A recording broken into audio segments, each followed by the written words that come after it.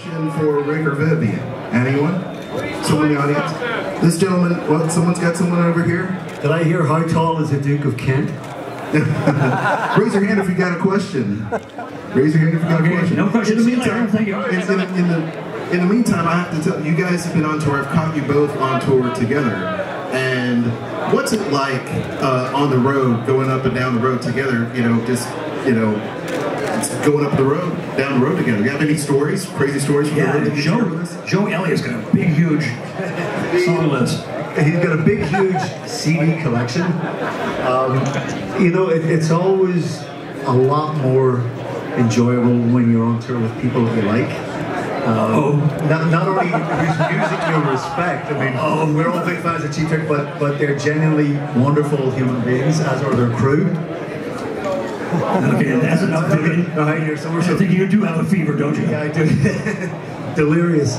Um, so you know, it's we. It's a with Leppard. We try and make it a very low pressure environment uh, backstage, and, and you know, we we kind of try to enjoy the process and enjoy the work, and it's it's genuinely nice to be with professionals and, and good people, and, and we've toured many times with Cheap Trick, and it's, it's always been a pleasure. I guess the question I would have from the both of you is: Have you ever collaborated in just songwriting together, just on the road? Hell no.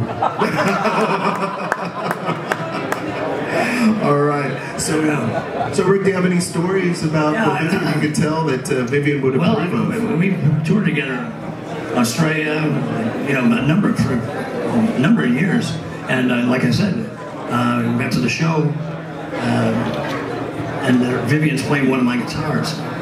Tell us about that, Vivian.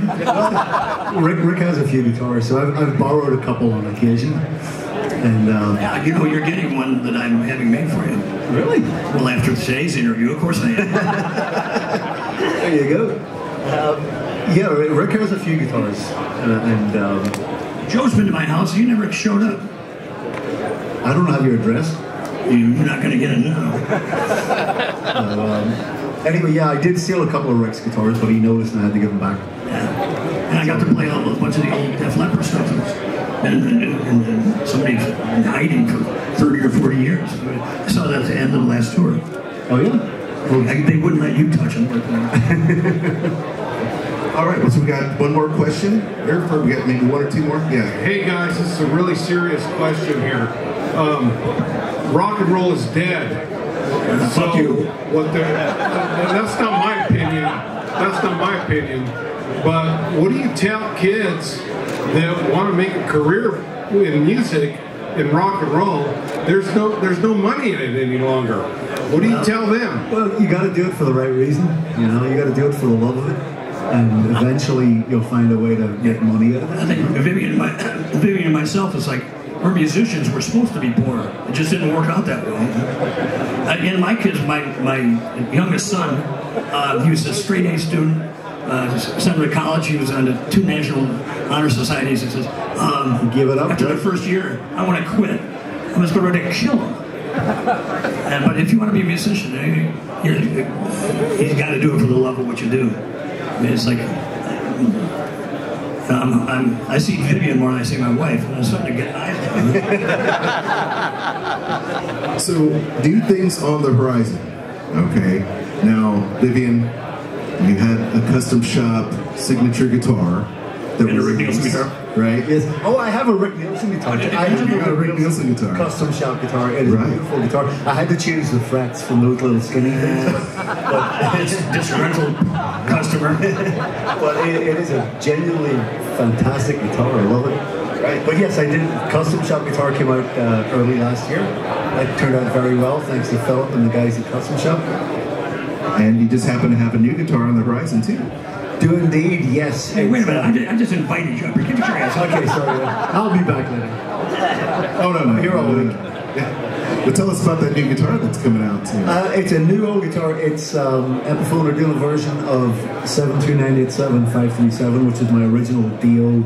So you're as born. No, sorry. It's the, uh, I bought it when I was 15. It was a wine red deluxe. I ordered a gold standard. Uh, I took emery paper to sandpaper to it that night. Um, Rory Gallagher was my first guitar. love Rory. I never, I never liked shiny guitars as a result of that. So I took sandpaper to this Les Paul when I got home that night. Um, and about a week or two later, I took it to a guy in Belfast uh, and asked him to repaint it a dull matte black.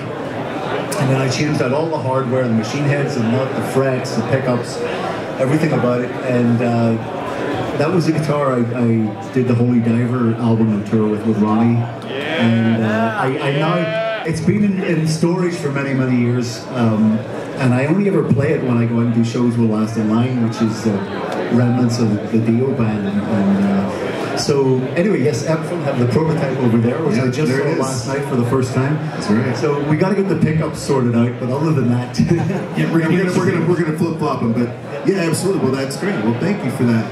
And on the horizon, new for Rick, um, you are a road warrior, being out there all the time playing shows. What's on the horizon for you? Uh, and, and the band is on tour, Um, let's see. getting on tour. Uh, I hope to die on tour. Uh, well, you're doing a good job with it. yeah, yeah. That's the way to do it. Excuse me, security. uh, let's see. No, we'd like So to you're not banned dinner tonight, then, no? No, we're too dumb to quit. Uh, we just got. We, we finally played at the Cavern Club. Yes, you did. We played at Cavern Club. We played, played Liverpool with these guys the night before. Was only about twenty-five thousand, and the next night, three hundred. We sold ours out. Congratulations. And so uh, we're all over. We just finished another album. We, you know, even if companies don't want to hear it. I mean, luckily, Cheap Trick, we've never progressed, which is perfect. Uh, you know, once in a while, we get these fancy producers that want to put a keyboard on there or something. And so after we cry about it and let them do it, and then the, then they quit the business, we're still in it. All the all the managers I've had have I've sued and lost, and, but we don't have them anymore. We still have the whole band. Well, I tell you what, all of us fans out there can't wait for the new Cheap Trick record, right? Yeah. No, that's more than we sold last year. I tell you what, guys, thank you so much for joining us here on this panel this afternoon here at the Gibson Experience.